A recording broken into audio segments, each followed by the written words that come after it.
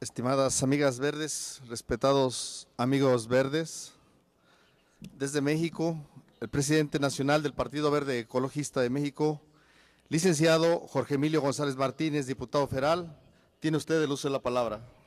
Muchas gracias. Voy a empezar haciendo un reconocimiento a todos los países aquí presentes, a todos los hermanos verdes, por este gran esfuerzo que sin duda nos va a servir a compartir experiencias y a seguir fomentando el trabajo del verde para poder defender el planeta que es de todos y que no es de patrimonio de cada país, sino es un planeta de la humanidad. Voy a hacer un, una breve síntesis de la problemática del calentamiento global que todos conocemos, para después pasar a hacer una reflexión en cómo creemos en el Partido Verde de México que podemos dar mejores soluciones. Carl Sagan, criticando a Venus, el planeta, afirmaba que era imposible la vida en ese globo cósmico vecino, porque el efecto invernadero era tan letal que hasta las ondas rusas se achicharraban al tocar su superficie. Y nosotros, los hijos del planeta Tierra, seguimos en una actitud destructiva, emitiendo gases de efecto invernadero que la naturaleza no hubiera emitido por sí sola aquí en nuestro planeta. ¿Y por qué lo digo? Pues porque esos gases invernaderos en su momento provocaron naturalmente glaciaciones y desertificaciones. Los gases de efecto invernadero son emitidos en Venus por cuestiones de reacciones y combinaciones químicas de tamaños planetarios. En cambio, los gases de efecto invernadero que están cambiando el clima en nuestro planeta son emitidos mayormente por la quema inconsciente e irresponsable de combustibles fósiles, que es el petróleo, el gas y el carbón, es decir, dióxido de carbono que se emite a la atmósfera. El profesor Carlos Jager del Instituto Potsdam para la investigación del impacto del clima y presidente del Foro Europeo del Clima, señala que la temperatura del planeta ha aumentado entre 1.4 y 5.8 grados centígrados en el presente siglo. Otro estudio realizado por científicos chinos revelan que los glaciares que conforman la cadena del Himalaya se derriten entre 10 y 15 metros por año. Las zonas del mundo donde los glaciares disminuyen a mayor velocidad es el monte Kilimanjaro en África y algunas partes de los Andes.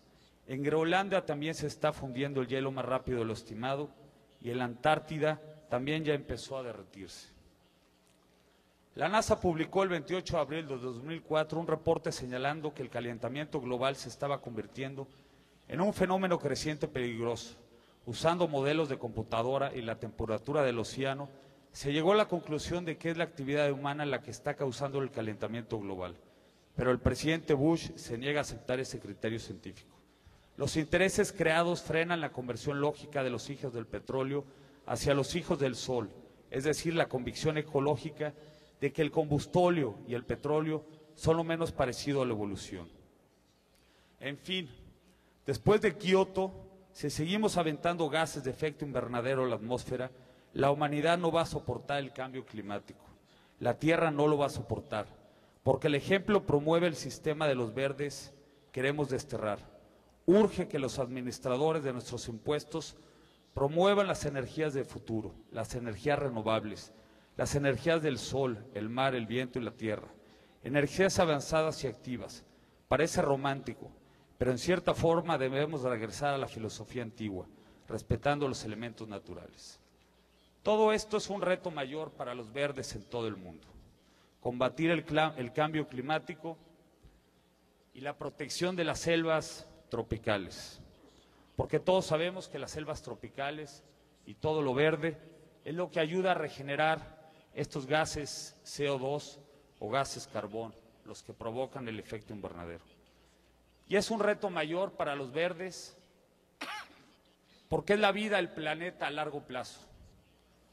Porque lo que podamos hacer nosotros en 50, 60 años es poco a comparación del futuro del planeta y del futuro de las selvas. Todos sabemos que las selvas para que un pedazo de selva se vuelva a regenerar pueden pasar miles y miles de millones de años. Y el cambio climático es un efecto que no se va a revertir y le va a afectar al futuro de nuestro planeta por miles y miles de millones de años.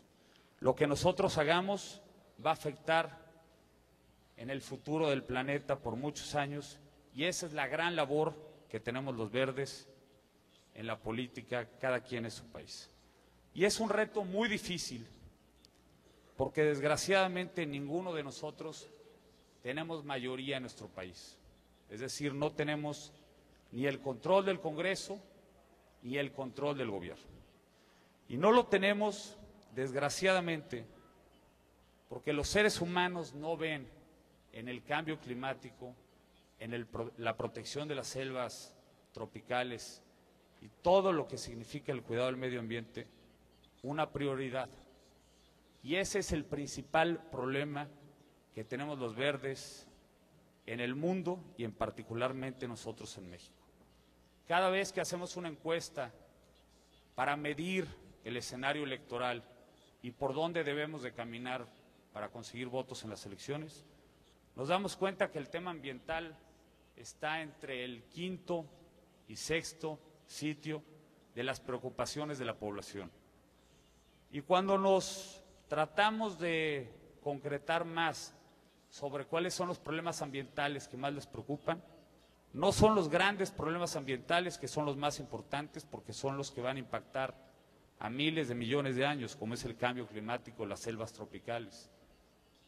Es el problema de la contaminación del aire que les pega a la gente directamente, el problema del agua, de la escasez de agua o del agua potable para que ellos puedan tomar, y el problema de zonas verdes en sus calles, en sus parques, a donde sus niños van a jugar.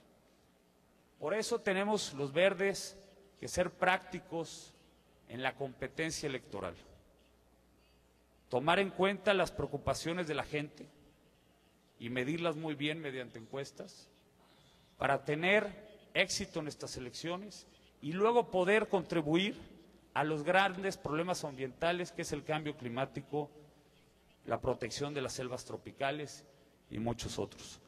Para esto tenemos que ser muy prácticos. En México hemos tenido elecciones federales con votaciones de 7, casi 8% de la votación nacional que son más o menos dos millones de votos. Y esto lo logramos gracias a que abrimos nuestra propuesta a la sociedad a temas de salud, a temas de educación y a temas de vivienda, que es lo que la gente le preocupa en su vida diaria. Si nos centráramos solamente en la propuesta ambiental, que sabemos que es lo más importante, porque es el futuro del planeta, y va más allá de la vida de nuestra raza humana, nuestro nivel de votación sería entre, desgraciadamente, entre 2 y 3% de votación nacional. Si lo abrimos a los temas de salud, vivienda, educación, salario, nuestros niveles de votación estimamos que pueden llegar hasta un 10 o 12% ganar diputados de mayoría, senadores de mayoría, como ya lo hemos venido haciendo, eventualmente algún gobernador, dos gobernadores, tres gobernadores, y tal vez algún día, 30, 40 años, que yo ya no esté en política, el Partido Verde en México podrá gobernar nuestro país.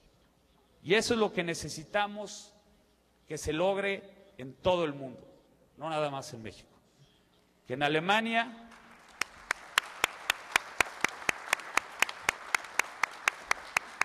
que en Alemania el Partido Verde esté en el gobierno, que en Vietnam el Partido Verde esté en el gobierno, que en India el Partido Verde esté en el gobierno, para así realmente poder dar soluciones a los grandes problemas de nuestro planeta y que es nuestra gran responsabilidad. Y el número uno es el cambio climático, porque es la herencia a nuestros hijos, a nuestros nietos y es nuestra responsabilidad como raza humana. Pero para eso tenemos que ganar elecciones, hermanos y hermanas del Partido Verde. Y tenemos que ser muy prácticos en la competencia electoral para luego dar resultados en el tema ambiental. En México vamos a entrar a una reforma energética donde tenemos un compromiso de avanzar en el tema de energías renovables. Lo vamos a lograr. Desgraciadamente en nuestro país menos del 1% de la energía que se produce es energía renovable, la mayoría es energía del petróleo. En esta reforma energética el Partido Verde va a aprovechar a sus diputados y a sus senadores para lograr paulatinamente el cambio. La idea es llegar a niveles de los países europeos, entre el 8 y el 9% de la producción de energías renovables, pero tenemos que ganar espacios para presionar a nuestros gobiernos, que a su vez presionen a Estados Unidos a que suscriba el protocolo de Kioto para realmente tener resultados en el tema del cambio climático. Otra vez muchas felicidades por esta reunión. Es un gran esfuerzo de los verdes y tenemos una gran misión cada uno de nosotros en nuestro país con el planeta. Muchas gracias.